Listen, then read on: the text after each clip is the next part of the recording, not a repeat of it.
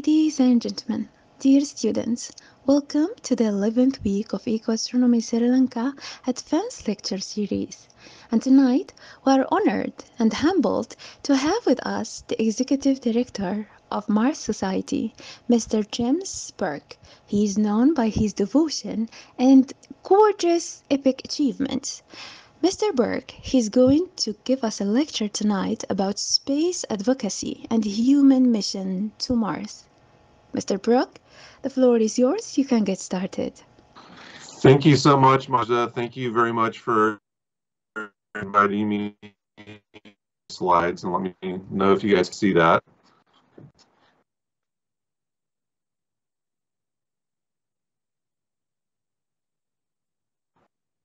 it's going to I Okay, believe, yeah. You on to Mars, and so forget everything going on in the world and all the troubles you, you all the things you're worried about, and just focus on a journey to Mars and a journey into the future. Um, so what I'm showing you right now is what Mars would look like if we were in a spacecraft about to, you know, to land. Um, that's the sort of a, a true image of Mars taken from the Hubble Space Telescope. And you can see right away that Mars has a lot of things, um, a bit of an atmosphere there, planet. You can tell that the uh, what looks like ice on the, um, you know, we used to think that it was all carbon dioxide ice, but now we're pretty, it's pretty clear to us that there's a lot of water on Mars locked up in ice uh, on the in the poles and also underneath the surface. But you know, this is what Mars would look like if you were approaching it from a spacecraft. And let me talk a little bit about Mars, the, the planet, and why it's such a great destination for us to go. So Mars like the Earth, um, has natural gravity. Mars is about half the size of the Earth, but because Mars does not have any liquid oceans like the Earth, Mars actually has the same surface area as all of the Earth's land. So if you add up all the land on the Earth, Mars is about the same surface area. Um, Mars has 38% of the gravity of Earth, which is actually better than the moon. The moon only has 16%. So um, unlike, you know, going to the International Space Station or other destinations, you know, you don't have to make your own gravity or you don't have to deal with zero gravity and its effects on the human body by going to Mars. You have natural gravity there. Mars day is 24 hours and 39 and a half minutes. So very similar to the Earth. And Mars also has seasons like the Earth. Mars is, um, because it's farther away from the sun, a year on Mars is longer than the Earth. It's about 1.8 Earth years. And because the atmosphere is much thinner on Mars than the Earth, it's colder. So usually it's below zero on Mars, but it does actually warm up sometimes to about zero uh, degrees Celsius. The atmosphere as I mentioned, is thinner. It's about one one thousandth of the Earth's atmosphere, and it's mostly carbon dioxide.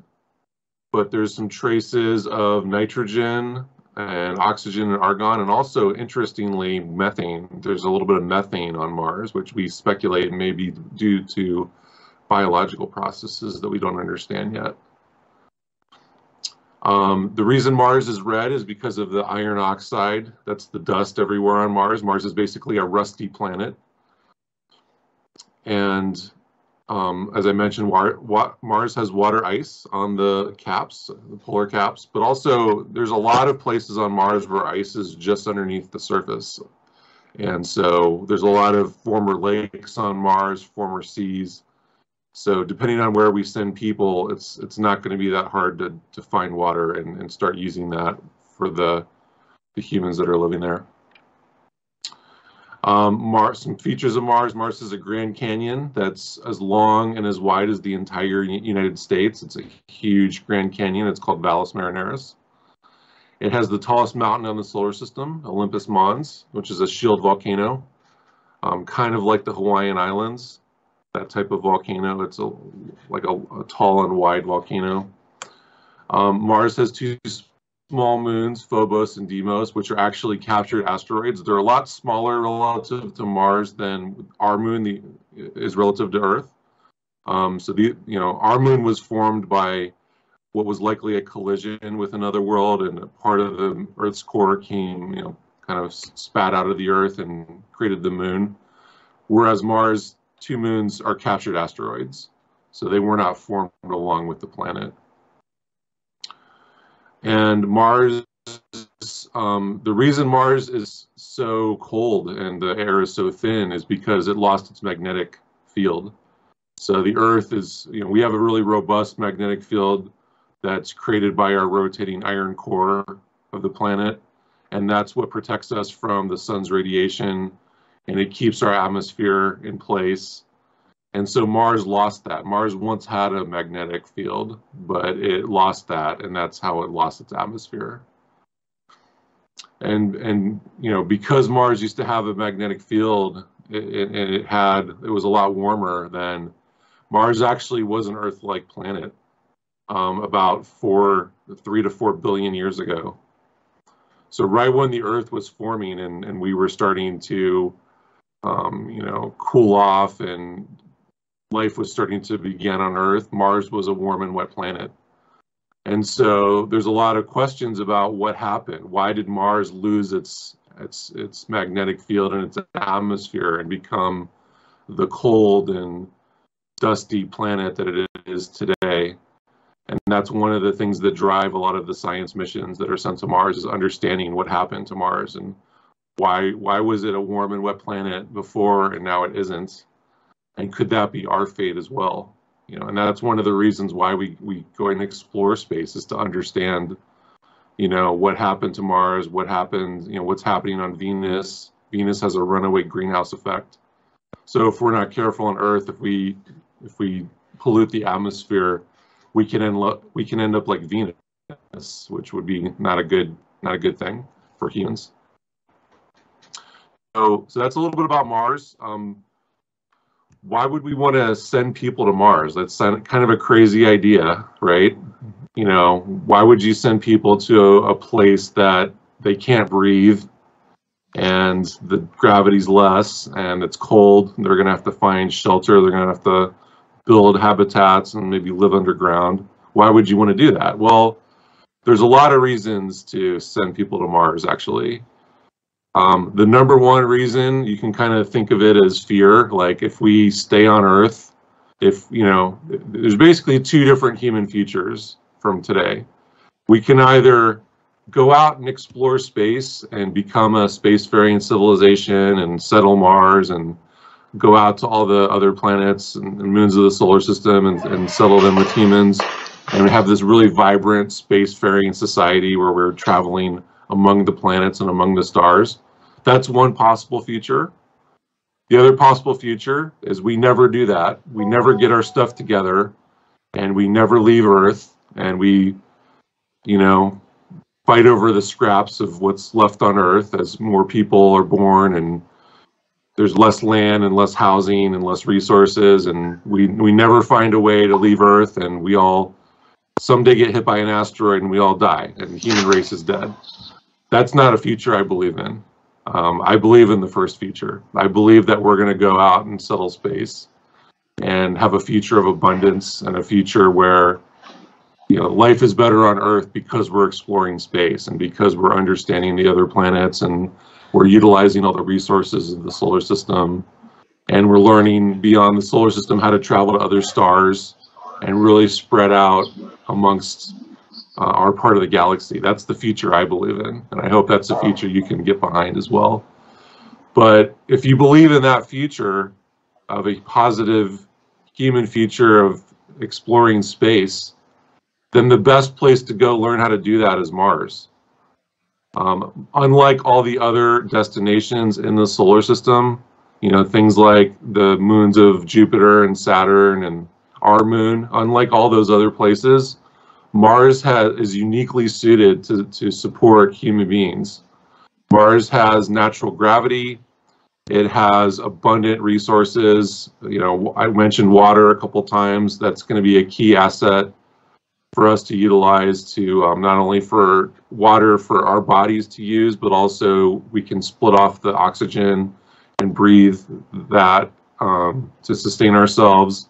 We can use water to grow plants and we could use water to make other things. Um, you can actually take um, the hydrogen that's in water and react it with the carbon dioxide on the Mar in the Martian air and make methane, make CH4 and that's rocket fuel.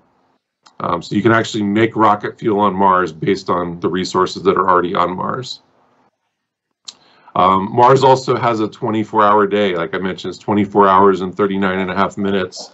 Well, that's pretty close to Earth. That's pretty close to the circadian cycles that human beings have. And so, um, you know, and the fact that Mars has seasons too, like that would be a way for us to acclimate to living there that would help us. Uh, Mars also has geothermal energy sources that we could tap into to make power. And so there's a lot of reasons to send people to Mars. The one I like to talk about too is just the challenge of it, that human beings need challenges and we're explorers and we need to, you know, always be growing. And settling Mars and trying to open up Mars as a second home planet for humanity would be a huge challenge and it would inspire people. So, um, so those are all the reasons. Uh, and then the, the last reason is if you believe that we're going to do this someday, if you believe that we are going to settle Mars and there's going to be people born on Mars um, and they're going to have a whole other branch of human civilization, if you believe that is the case, then we should go do it for them. We should go do it for all those people that have yet to be born. We should go do it for the Martians. So let me talk a little bit about the past exploration that we've done up to today of Mars.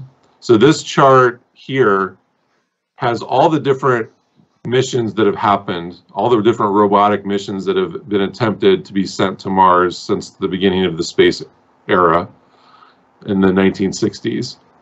And as you can see, if you look at the results there, the X's and the check boxes there on the uh, sort of the middle to the bottom of this diagram, you can see that when things got started in the in the top and then extending a, a, a counterclockwise, there were a lot of failures initially. You know, Russia and the Soviet Union sent a lot of probes to Mars, but a lot of them failed. In fact, all of them, all the ones that the Soviet Union ever sent failed. Um, the U.S. had a couple of successful flybys in the 60s with the Mariner 4 and 6 and 7 missions.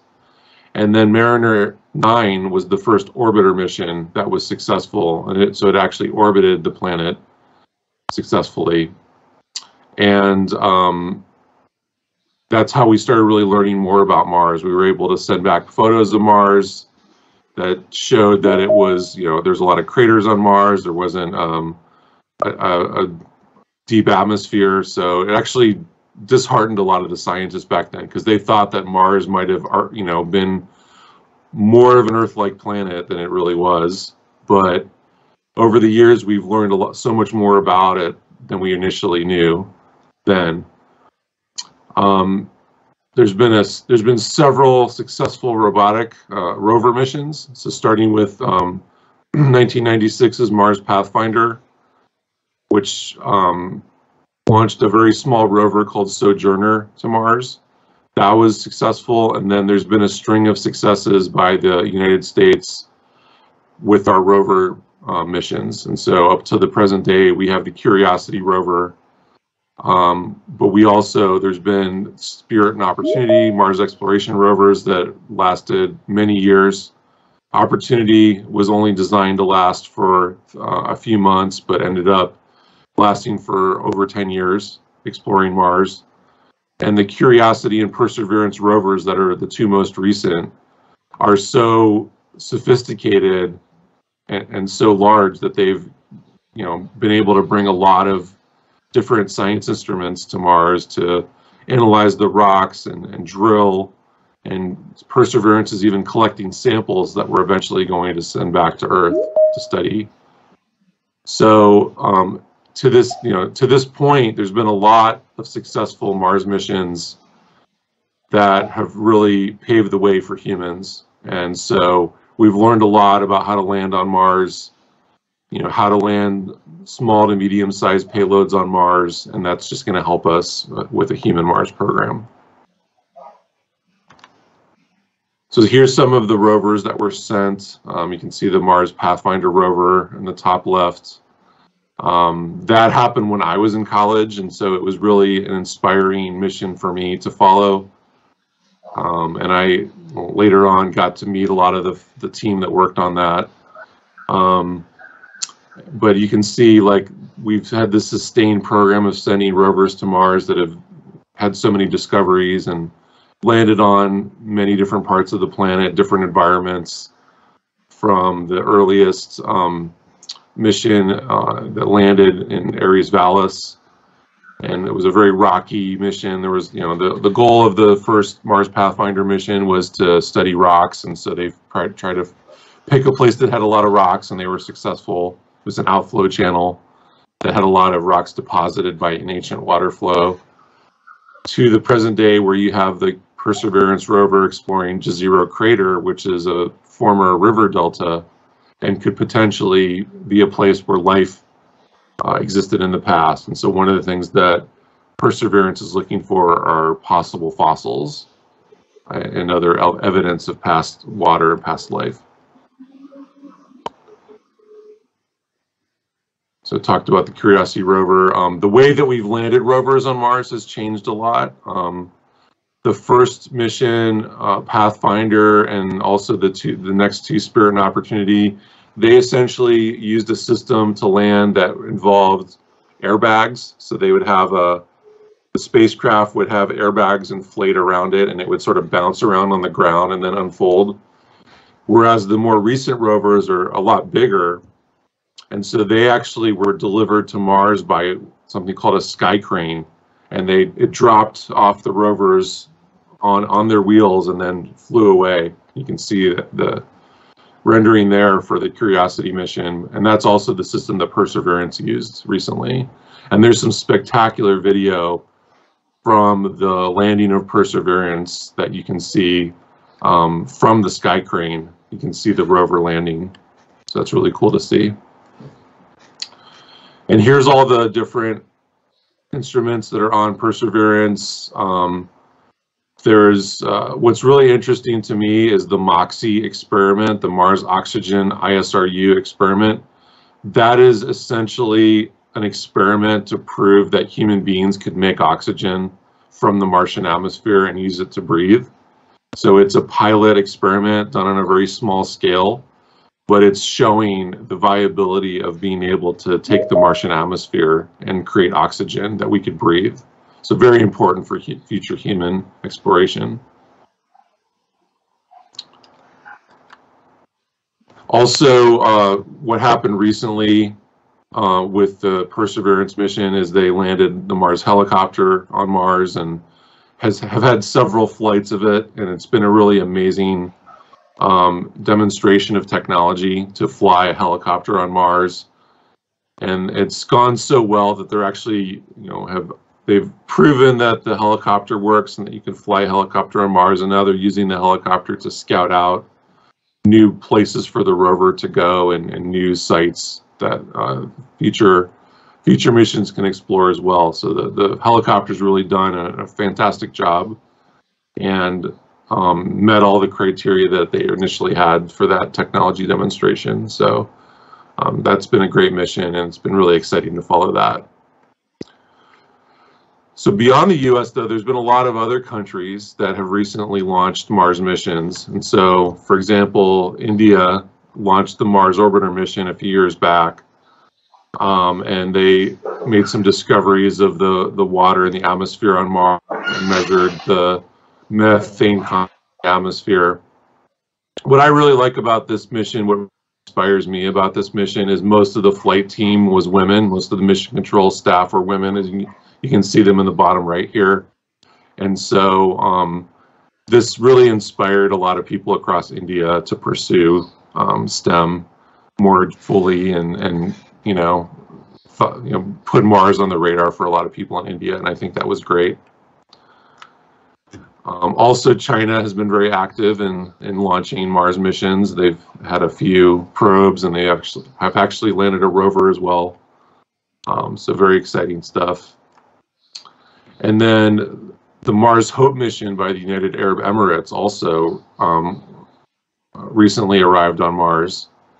And so it's another example of an, a, a new country exploring Mars and um, making discoveries that uh, have never been made before. So it's really exciting to see all the international missions happening. Let's talk about what it would take to send humans from a technical perspective. I'm sure that's of interest to, to folks here. So what I'm showing you now is a slide from Robert Zubrin's Mars Direct presentation. So Robert Zubrin is the president of the Mars Society. That's the organization I work for. And he, he became famous in the 1990s because he came up with the idea of Mars Direct, of sending a mission to Mars that's as cheap and easy to do as possible, as lightweight and small as possible, and using the Martian resources uh, to leverage what you need to do the mission. So the idea with the Mars Direct plan is that you'd have a heavy lift rocket, you know, a rocket kind of like the size of the Apollo moon rocket, the Saturn V. And now we're seeing actually two different options for this. The there's a there's one called the Space Launch System, the SLS, which NASA has been working on and is going to fly later this year for the first time. And it's derived from the space shuttle. And it looks very similar to this diagram. This diagram was made in the 1990s. And Robert essentially was using that design of a shuttle derived rocket to to design this Mars mission. But the other option is Elon Musk's SpaceX um, is building a, a, rocket called Starship, and Starship and its super super heavy booster are also an option for a, a Mars direct mission like this. So if you had a rocket such as those two, which we're about to have both of, um, you could use them to send a payload to Mars. Um, and the idea is that first, before you send people on a mission like this, you would first send an un, uncrewed cargo mission to establish the base on Mars that you're going to land on.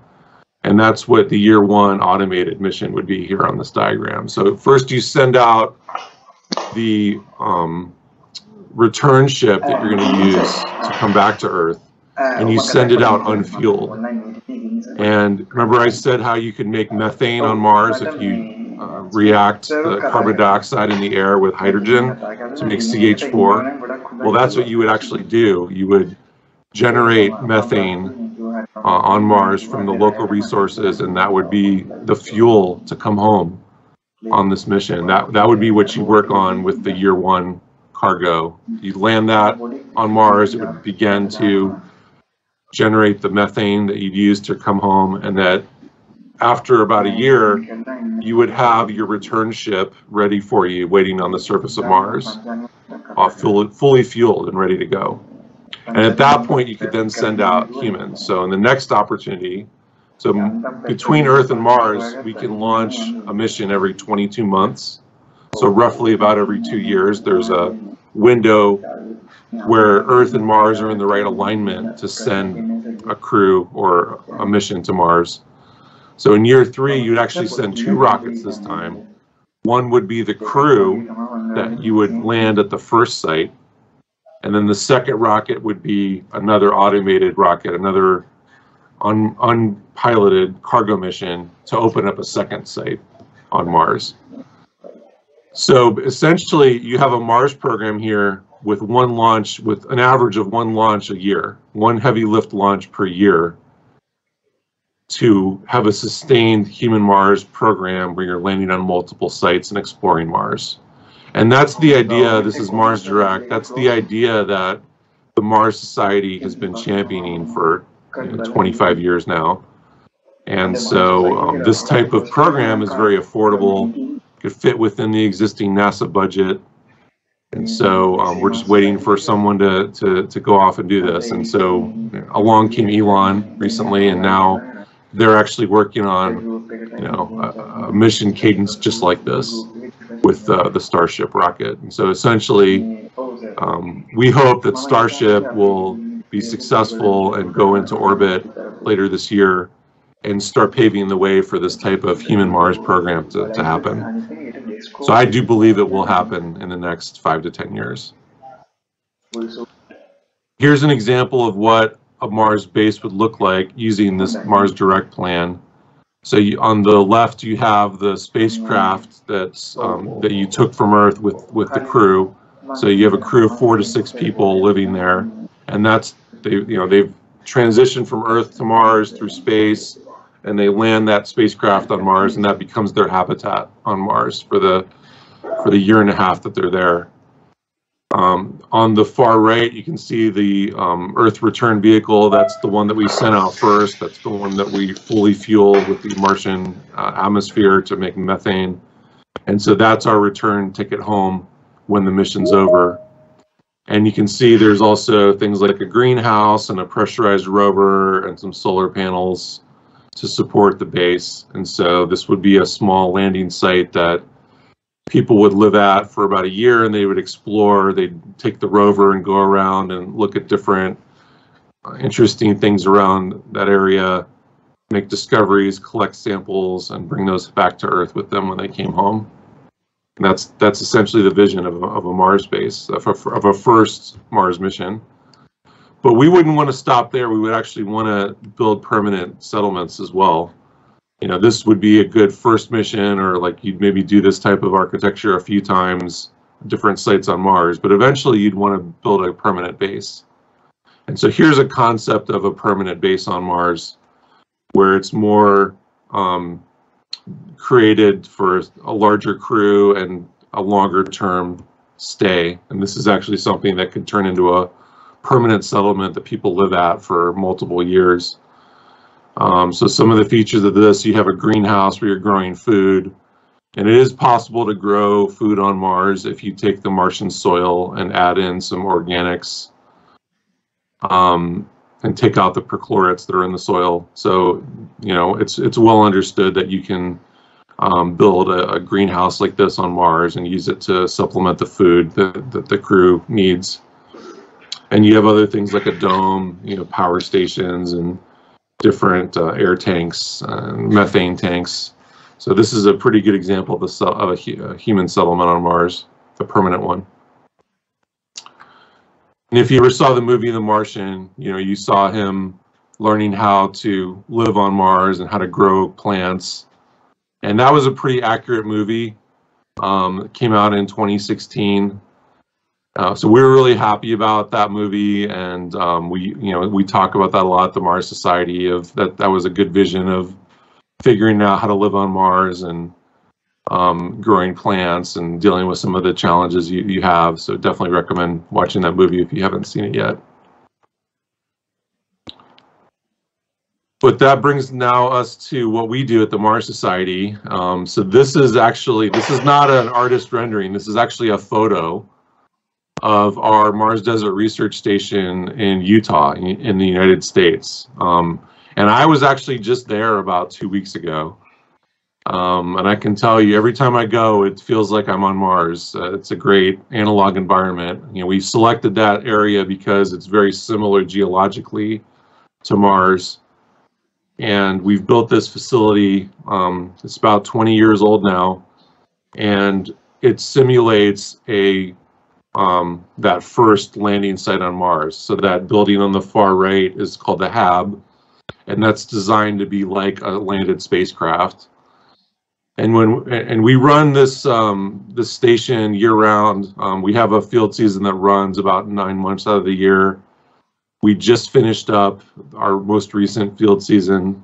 So we had about a dozen crews that stayed. Each crew was about four to six people, and they all um, pretended to live and work on Mars. They you know, one of the mission rules are if you go outside, you have to wear a simulated spacesuit, so a helmet and backpack, and you can see the two analog astronauts there doing that. Um, and so it's a great experience. I, I've actually been through a, a crew mission myself at the MDRS back in 2018, and I really uh, it was a really profound experience for me, and it really got me in the mindset of what it would be like to live and work on Mars for a short time. So, um, so we we do this research project uh, as the Mars Society because we want to show people that this is feasible, that this is not science fiction to live and work on Mars, that we actually can do it with today's technology, and we practice the the human factors and operational elements of doing that with our station in Utah. And here's another photo of our station more recently taken. And so, you know, you can see on the left there, that's the, the habitat. It's a two-story building. On the upper floor are six um, staterooms that the crew stays in, as well as a common area and a kitchen. And that's sort of your, your home on Mars. And then on the lower deck, there's room for us to put on our spacesuits and do other um, lab experiments and research. In the middle there is the greenhouse um, where we grow plant experiments and grow food to supplement um, the crews. On the far right is the science dome. It's a half geodesic dome. It's a great uh, building, and that's my favorite area of the campus. It's really spacious and it's air conditioned. Um, has a great view of the of the surrounding terrain. And then the Musk Observatory is in the kind of top middle um, there. That's a small um, observatory that we built after Elon Musk donated money to fund this project in 2002. Uh, it's now a sun observatory. We actually have a second observatory on campus called the Robotic Observatory. And because we're out in the middle of the desert in Utah, the skies at night are fantastic astronomy. And so we fully take advantage of that by having the two observatories. And you also can see on this uh, a couple of the vehicles we use to go around when we're both in simulation and also just preparing for one. There's some uh, Polaris EV rovers and some all-terrain vehicles that we that drive around the area. And so you can imagine wearing a spacesuit and driving those around could be quite fun. So this is the Mars Desert Research Station. We've been doing this for about 20 years and we've had 280 different crews. Um, over, over 1,500 individuals have come to the station, and two of those people have actually gone to space. In fact, one of them, Jessica Watkins, who went through our program in 2005, she is right now on the space station. She's a NASA astronaut. Um, she's the first Black woman to have a long-term stay on the space station, and she's a alumni of our program and we're very proud that, that that she reached space. And we hope that more of the folks that have gone through our program get to go to space as well in the future. Um, this is actually the first station we built. This is called the flashline mars arctic research station. We built this facility in the year 2000 and this is in northern canada. It's uh, very far north of Canada on an island called Devon Island. It's within the Arctic Circle. And um, we've sent crews here over the years several times. As you can imagine, it's a lot harder to get to this station up in the Arctic Circle than it is to get to the one in Utah. So we don't we don't have crews here every year, um, but we are planning to send another crew possibly next summer, about a year from now. And the advantage of the Arctic is it's it's even more isolated than Utah. Um, it's literally you have to take you have to charter an airplane and land on the ice to to get there. But it's also um, like the Utah desert. It's a Mars analog. It's it's a this is a, in a place that is geologically similar to Mars. It's near an impact crater called Haughton Crater um, that people like to study because it has similarities to craters on Mars. And one of the areas of research up here in the Arctic is seeing how microorganisms and bacteria and lichen can survive in this extreme environment where it's really cold and there's not a lot of of, um, of organics. But um, so this has been a, this has been a successful program as well for us, and this is kind of how we got the ball rolling with Mars analog research, which now is like a worldwide field, and there's a lot of different stations out there beyond beyond the two that we operate.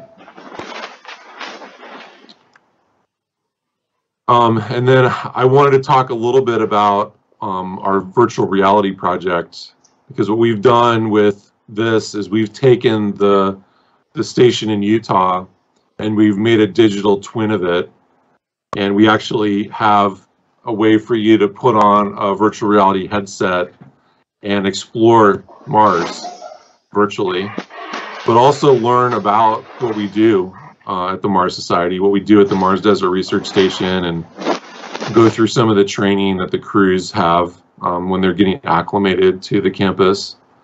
So um, this is actually available now. Uh, if, if you have a computer, you don't even have to have a VR headset.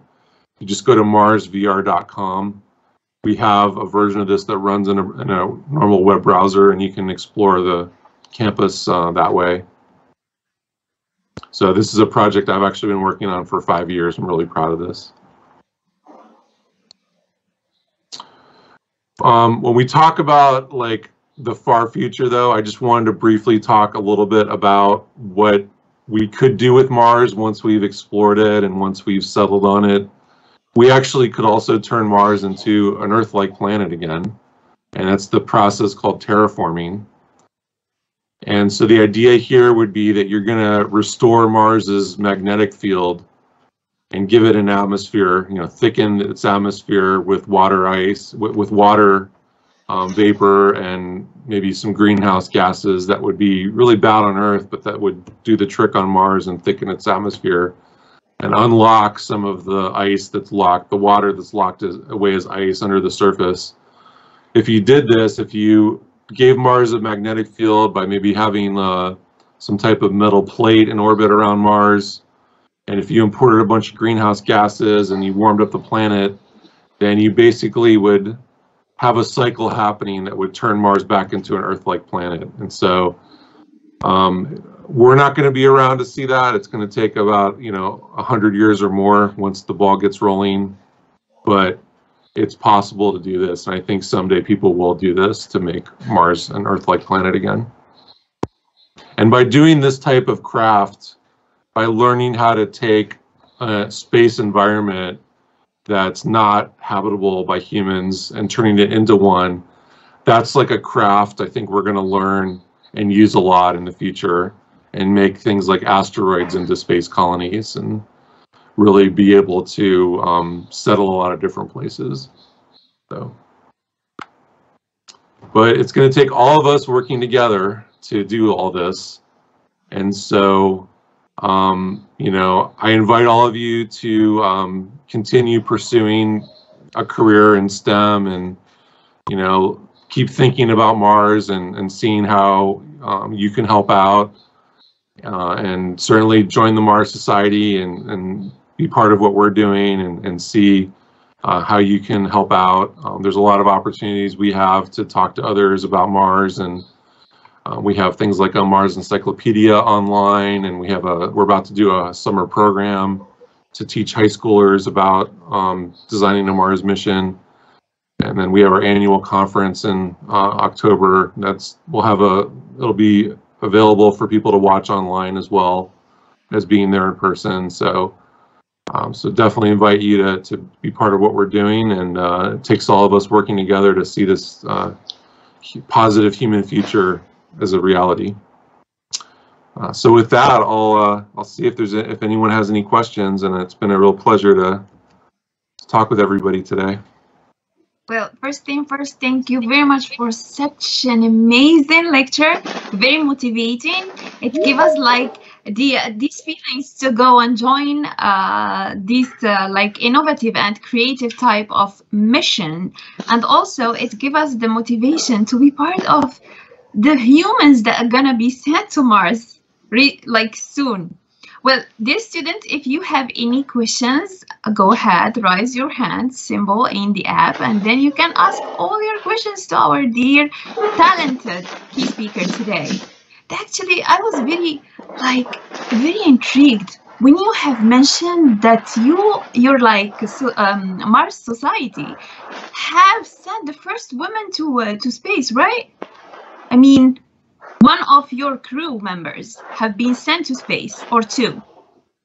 Um, so it was uh, one of our alumni at the program, uh, Jessica Watkins is her name. She she was a young woman. She was just out of college. She stayed at our station and she learned a lot about Mars. Then she went on to work on the rover team at JPL. She worked on the one of the rovers.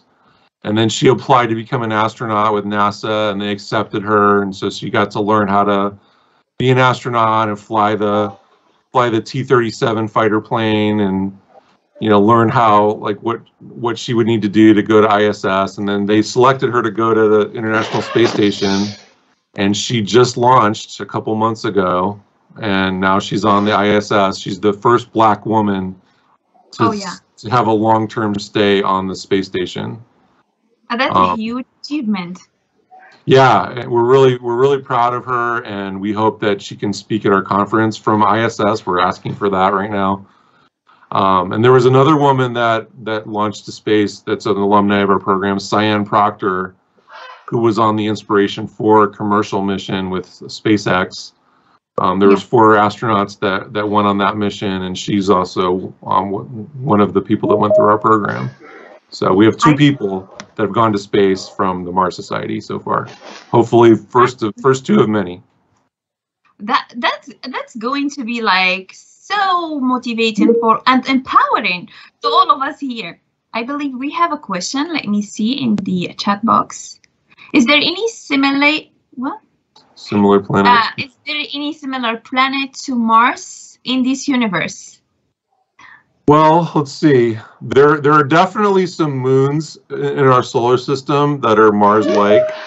Um, you know, when you talk about Mars, you're talking about there's natural gravity and there's a thin atmosphere, there's water, um, there's other like elements that are you know interesting, like you know different types of um, uh, ro- um, what are they called? Rare earths like that we use to make electronics on earth. Like that's those are available on mars. So yeah there's actually a few moons of jupiter and saturn that are mars like in those in those senses. Um like one one moon that's really interesting to me is europa. It's a moon of jupiter and it has a liquid ocean uh, but that there's an ice, sort of ice crust around the planet and so that would be a really good place to to go explore with humans. Um, also, there's a moon of Saturn called Titan, and Titan is like an early version of Earth. It's a it's got a methane atmosphere, Yeah. um, and so you can you could see like Titan would be a good place for humans to go and learn how to how to how to live there. So yeah, there's definitely other places in, in just in our solar system that are interesting that are similar to Mars in the sense that they could support humans. But um, yeah, And there is another question from Samira. He said, "How much month it takes to go to Mars? Can you guess?" Where yeah, I can tell you. Ex- I don't have to guess. I can tell you exactly what it is. So Yeah. if, you, if you traditional chemical, the ones that we use today that are that use different um, chemicals to generate the rocket burn, um, you know, that we've used to go to the moon, that we've used for the like the space shuttle and SpaceX rockets. That type of rocket would take about six to nine months to get to Mars um, based on which trajectory you used to go from Earth to Mars and, and where Mars and Earth were aligned. So if you're going to talk about sending people to Mars and bringing them back using chemical propulsion, which is the technology we have today, then it's about a three-year mission to go to Mars and back. So you you know you'd send a, a crew to Mars. They take about six to nine months to get there.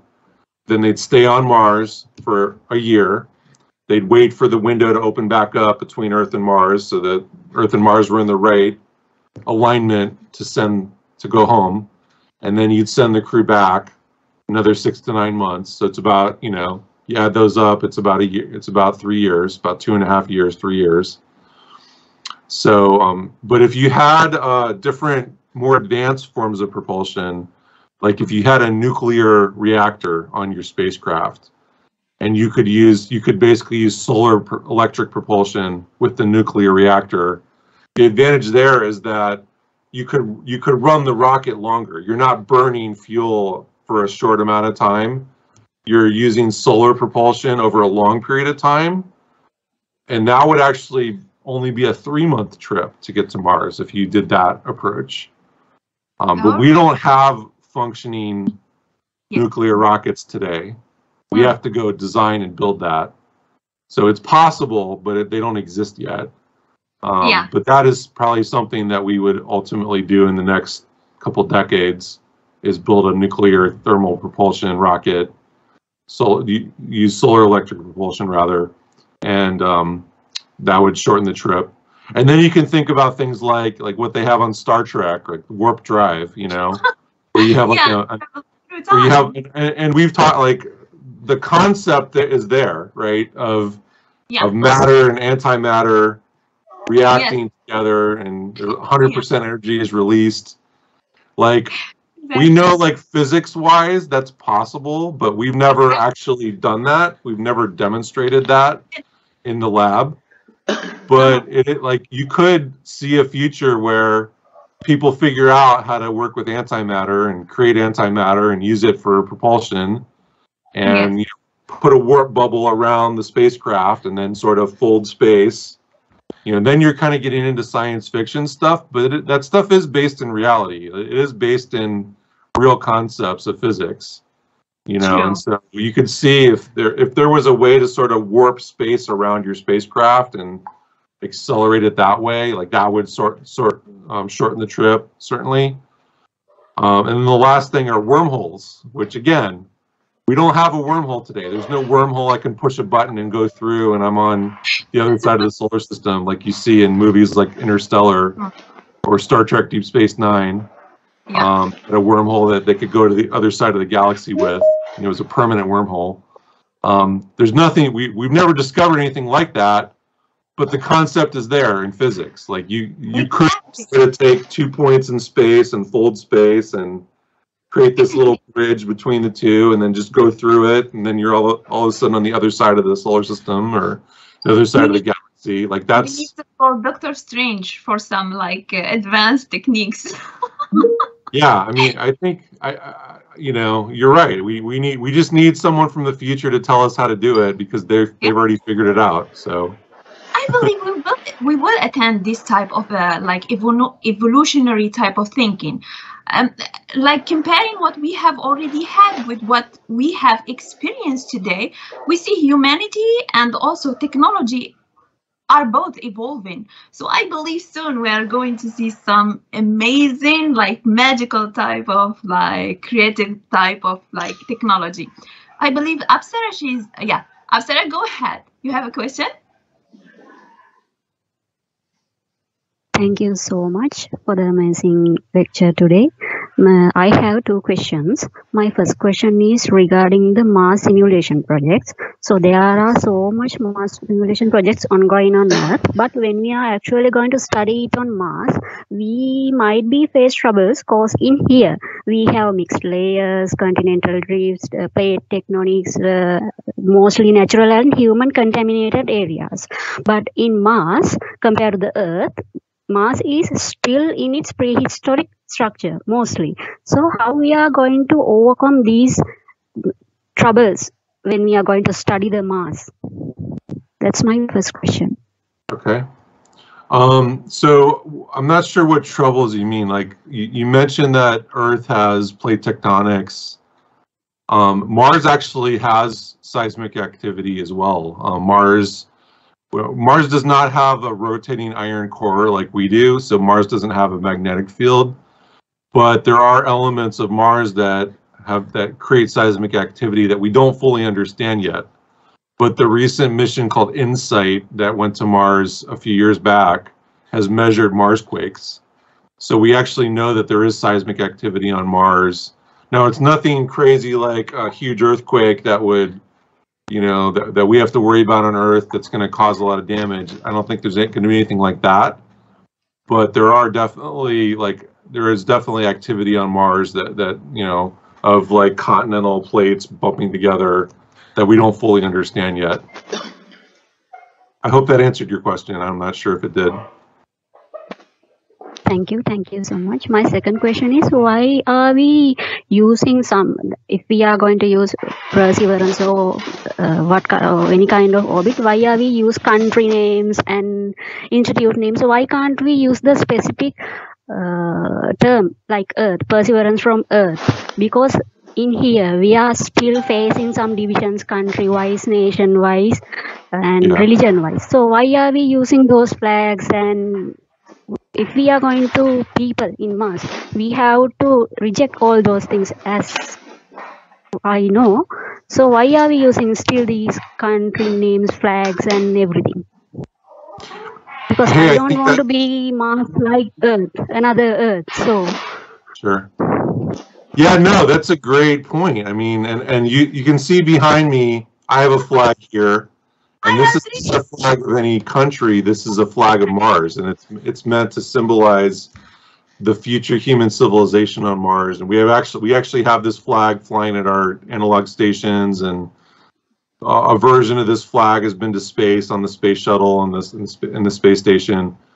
And so, yeah, I definitely agree with you. We should not think of going to Mars as the accomplishment of one country or one team. It should be a human. Humans are doing it together, and whenever the first crew does go, I think the whole world is going to be proud of them. And we should kind of think of it more as we're sending representatives from all of humanity to Mars, not just from one country or, or one company like SpaceX. But uh, you know, unfortunately, the reality is, you know, human beings are still tribal people, and you know, if you know, there's no there's no current mission to Mars, but if, for example, if there was NASA funding for Mars today, and they were preparing to send a mission to Mars, they would probably fly the U.S. flag. Who's funding it? But it doesn't have to be the the end of you know. It doesn't it doesn't mean there can't be more international cooperation and um, more people represented. Um, and I definitely like at the Mars Society, we try to be we try to ha- be more inclusive and think of things in a global context more. And so, uh, yeah, I completely agree with the mindset of your question. I think we all should explore Mars together as humanity, not as individual people from different countries. I agree 100%. This question was just amazing, and your answer is just like humanitarian. so I will invite Samira also. Samira, go ahead. Ask your question. if somehow if somehow humans go to the Mars, and what about the radiation level in the Mars? Yeah, that's a really good question, Samira. So there is a little bit of a radiation risk going into space. Um, there's two types of radiation in space. There's cosmic rays and solar flares. Um, those are the two ki- kinds of radiation you have to be you have to really watch out for when you're in space. Whenever you leave the Earth and whenever you're beyond the Earth's magnetic field, which protects us from a lot of that. Um, cosmic rays are essentially coming in from all over the universe. They're they're from supernova of stars, and they're very small particles that are going very fast. And so there's really no defense against cosmic rays, but what you can do is like not be exposed to them as much. So when we're sitting here on Earth, when we're you know standing on the surface of Earth, Earth is actually shielding us from all the cosmic rays coming at us from the from below. So it's shielding us from that um, but there's still cosmic rays coming in from above. When you're out in space and you're not orbiting Earth, if you're going between Earth and Mars on a spacecraft, well, you're going to get hit from cosmic rays from all directions. So you need, you know, you need to take that into account with the design of, of your spacecraft and, and the protection you have. Um, and when you're back, when you're on Mars, the same thing. You kind of need a little bit of radiation protection to, to prevent that. Solar flares are different though. Solar flares come from the sun. And so uh, a solar flare is essentially, you know, some plasma or gas coming out of the sun unpredictably that goes out into space. And if you were in a spacecraft between Earth and Mars and and, and one of those hits your spacecraft, it could be very detrimental to the human beings there. But there are ways to shield from a, a solar flare. You know, you can basically take, um, you know, either some like iron plating, uh, metal plating, or you could take things like food and water and use those as shields. If you had a, a few feet of thickness between you and the solar flare, you know, you and outside the spacecraft, that would probably be enough. And so most spacecraft are designed to have a solar flare shelter in the middle of them that people could go into for a brief period of time when the solar flare is is coming into contact with their spacecraft. But when you're on the surface of Mars, you also will need to worry about that because there's not a magnetic field and, thick atmosphere to protect you. So usually the concepts for bases will have a solar flare shelter, or they'll, or they'll, or they'll automatically have a lot of radiation shielding as part of the design of the base. Um, there's also a little bit of radiation you're going to get just being on the surface of Mars, and so you know that's not really well understood yet. But we are we we, we are assuming that you're, you're not going to be able to like be out in a spacesuit for months at a time on Mars. You're going to need to go out for short duration EVAs and then go back into the habitat and be safe. And so that's usually the mission plans that we design or take that into account. So, so radiation is, it's a bottom line, radiation is a risk on Mars and in space, but it is something that's solvable. Well, good. I will invite right now Sanuki. Sanuki, go ahead. Okay, uh, first of all, I would like to thank you for this uh, amazing lecture. Like, actually, I felt I was like in, on Mars. Um, You're very welcome. uh, so my question is, uh, will man manage to create technologies that will leave planet Earth, uh, like, and go to other planets, not except Mars, and uh, can we even leave the solar system and go to oth- reach other planetary systems also? Yeah, so the technologies that were developed Mars could be used to, to visit other places in our solar system. Like I mentioned earlier, like the moons of Jupiter and Saturn are interesting destinations. Certainly our Earth's the Earth's moon, like that's probably the first place we should go back to. And there's an active NASA program right now called Artemis that's planning a return to the moon with the SLS system. And SpaceX is also modifying their Starship to land on the moon. And so all that should happen. We should use the same technology that we're going to use to visit Mars to go visit the moon and some of the other um, moons of, the, of, of Jupiter and Saturn that are interesting. Um, so that's all doable. That's all, you know, we're going to see that in the next 20 years. When you, but when you talk about going to another star, that's a whole different problem. You know, say we wanted to send a probe to Alpha Centauri, which is the closest star to the sun. Um, it's it's about a light year and a half away, and so um, you're not going to be able to to take a Starship rocket and go to Alpha Centauri. That would take thousands of years with chemical propulsion. You're going to need some of those newer concepts we talked about, like the warp drive, uh, to do something like that, or the wormhole to do something like that. But there are concepts not to send humans to Alpha Centauri, but to send small probes, like nanoscale probes, that you could use light, or you could use solar sails or other concepts to propel them uh, over a long period of time and get to Alpha Centauri generation, get get there in like 30 to 40 years.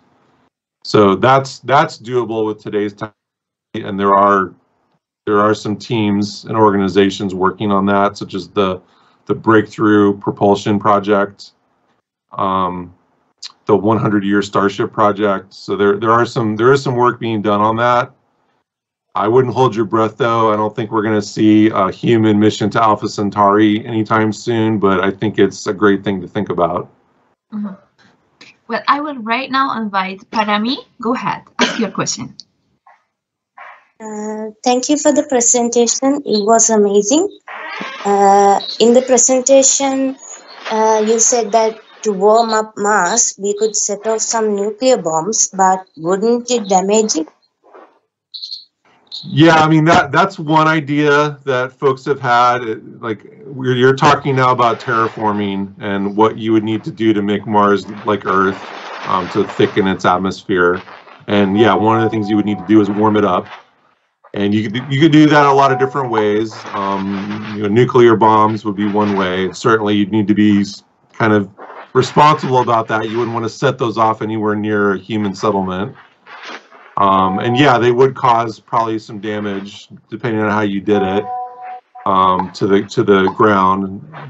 But you know, there are there are ways to sort of humanely do that to, to just try to warm up the atmosphere. There's some concepts there, but that's not the only approach you could take to warm up Mars. And one another thing you could do um, is you could crash uh, an asteroid or a comet into Mars, although that would cause damage too. So if you're worried about damage, it's probably not a good plan.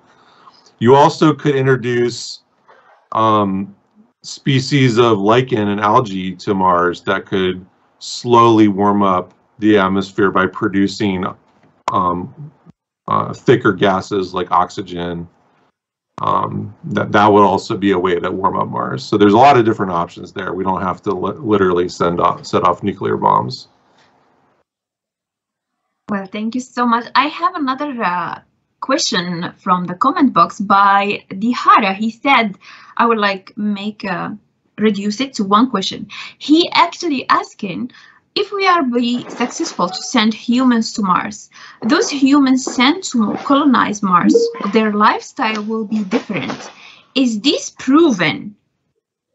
Is this like Oh yeah, I, think yeah, I think their their lifestyle would definitely be different, and and with what we practice in our analog station in Utah and the Arctic, we're kind of already seeing what it would be like to to live on Mars. It's it's basically a lifestyle where you're you're you're juggling a lot of things. You're juggling your the the keeping your facility online, you know, making sure that you have power and, and water and food and everything you need to survive.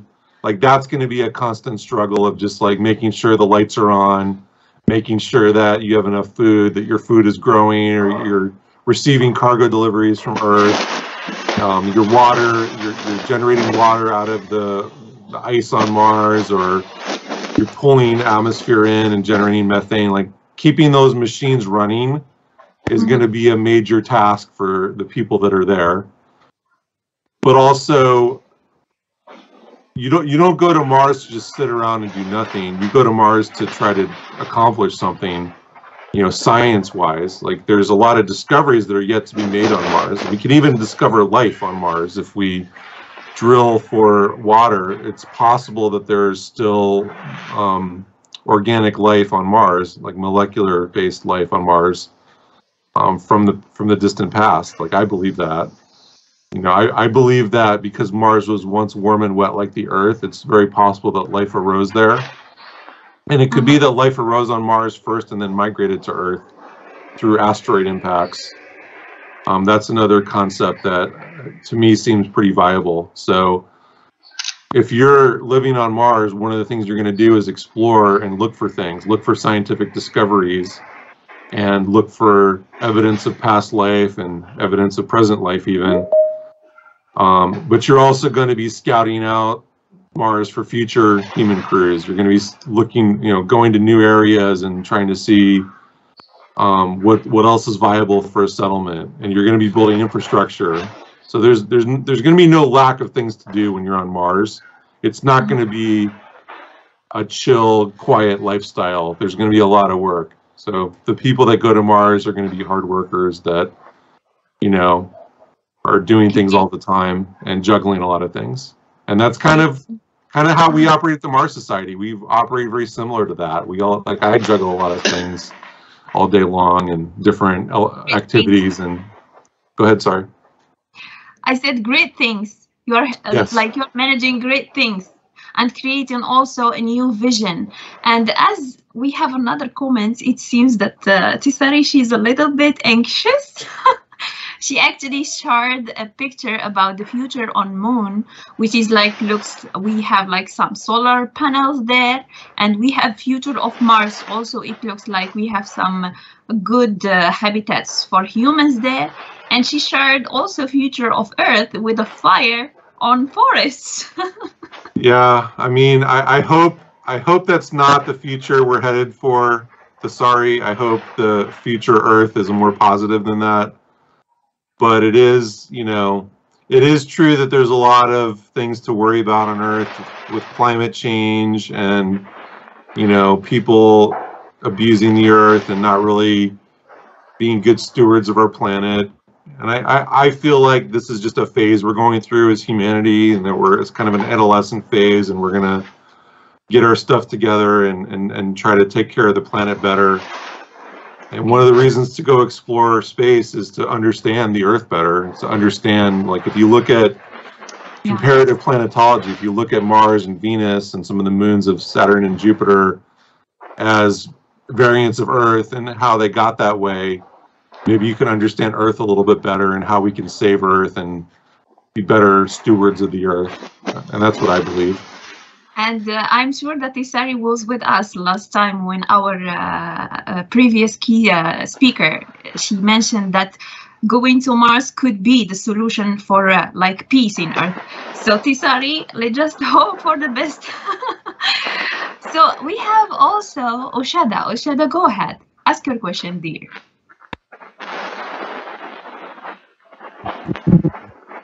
Yeah, ma'am. Uh, firstly, thanks for great lecture. Uh, my uh, question is, uh, uh, radiation uh, and magnetic field directly uh, affect to nerve system and other uh, body system. So, what are the the practical researches for live and survive with mass magnetic field and not mass magnetic field? Uh, mag, radiation to uh, astronauts uh, in Arctic. So I'm, I'm not really sure. Could you repeat your question a bit? I, I think what you're asking is what are, what are the challenges of, of dealing with radiation? Oshada, your question is not that much quite clear. If you can just repeat it, please, or write it in the comment box. Yeah. Uh, uh, direct, uh, mainly, uh, I asked uh, radiation, uh, radiation and uh, not magnetic field. So uh, mainly effect to nerve system. So uh, how to survive with uh, uh, astronauts in uh, this environment? Okay, how, how do you protect So- astronauts from radiation? That's your question. Respect to, uh, astronauts in Earth. Ah, in the Arctic type of. Um, so he asked, like, you have shared with us the Arctic type of like mission, and Mhm. he asked if there is how we can like study this impact on them in Earth. If if the, I did understand the question, because it seems that the network is not that much good.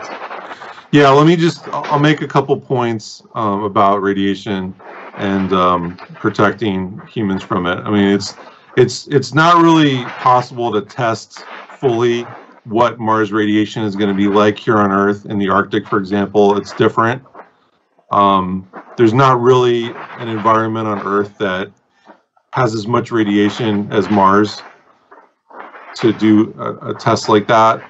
Um, so we don't necessarily need ex- extra protection in the Arctic for radiation. There is a little bit of an increased risk from being in the Arctic because the magnetic field is less, but it's nothing. It's not. It's it's not a. It's not significant, right? Um, you actually get more radiation from flying in an airplane sometimes than that. Um, so but the way to protect people on Mars from the radiation is to have shielding from from it. So um, whether that's building your base underground so that there's rocks between you and uh, the the radiation, um, or if you had padding on your your buildings, um, radiation shielding built into the buildings.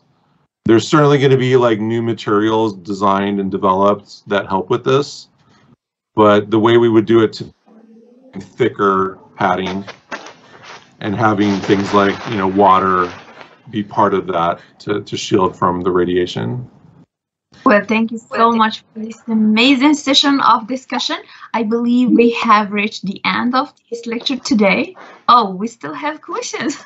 Let me see in the comment box. By the way, I will invite Dr. Arvinda if he can comment today uh, lecture session. And uh, Dr. Arvinda, go ahead. Open your microphone, please.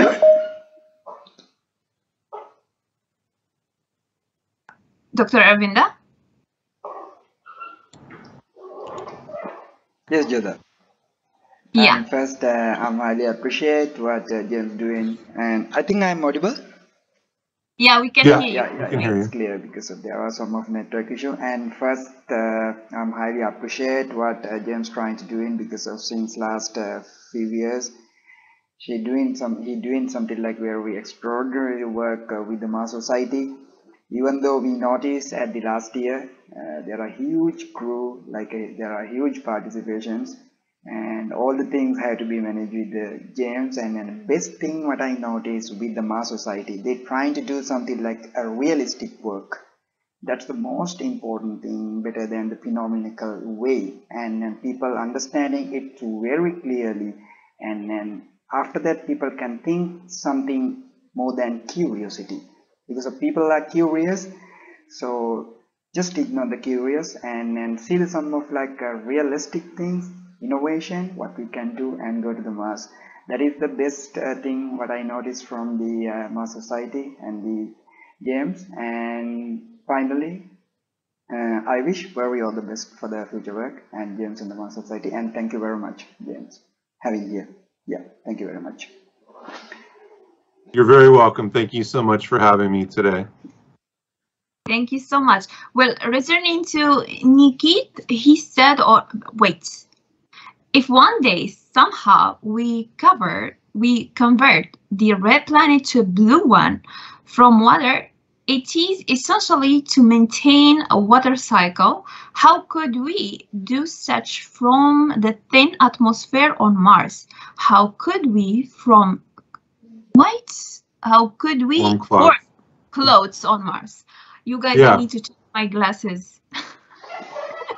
Yeah, um, it's a good question. So essentially, what we're talking about again is terraforming, and to do this, to do this act of turning Mars from a, a red planet to a blue planet, what you would have to do is give it a magnetic field because that would hold in the atmosphere. If you just thicken the atmosphere and there's no magnetic field on Mars, it's just going to blow away.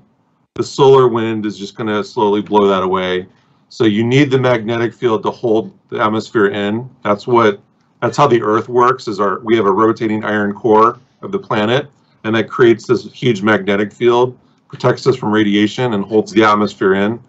So if you did that, if you had a magnetic field on Mars again, and you start thickening the atmosphere by warming up the planet, maybe introducing some greenhouse gases, but, but unlocking the water that's locked in, into the surface now as ice and sublimating that into the air, then you would have clouds. You you wouldn't have a thin atmosphere anymore. You, you would have a thick atmosphere and you would have water clouds just like we have on Earth.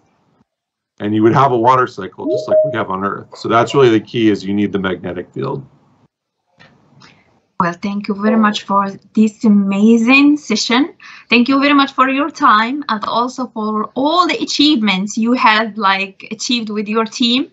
Sending you all our like best wishes for more other uh, excellent achievements and thank you again for accepting uh, our invitation and we are very honored to have you. Thank you everybody for your attendance and have a nice evening everybody. Wishing you an epic weekend. Thank you very much. Yeah. Thank you. I wish everyone the best. Good luck, and I'll see you on Mars. See ya. Thank you. Thank you, sir. Thank you, See you on Thank Mars. Thank you so much, ma'am. Thank you, sir. Good night. Good night, sir. Good night. Each one of you. Thank you, dears. Good night.